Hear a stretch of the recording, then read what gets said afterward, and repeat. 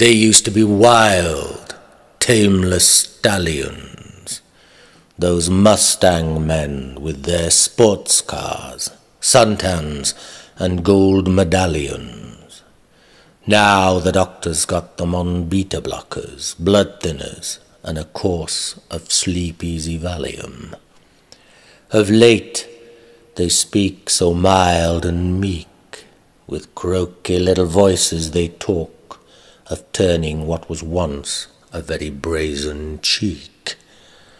Routine to rut and fat of gut.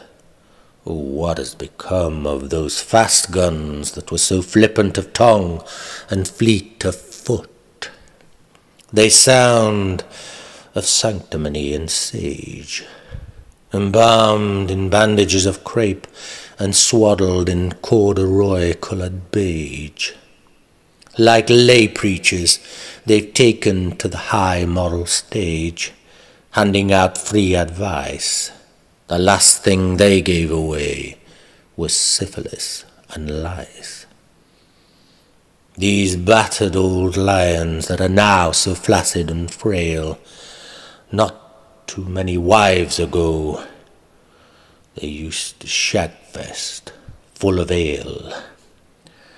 They spent clean fortunes at Savile Row swank parlours, Gieves and Hawkes, Sweeney Todd.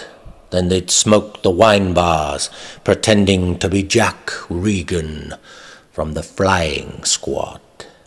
All bull necked and barreled at the chest, in winter they used to wear mafia coats and monkey suits. In the summer it was a white singlet vest. Once they were war-faced warriors in midnight blue and black tie. Now they're warfarin warriors, scared of having a little too much cholesterol cream on their apple pie.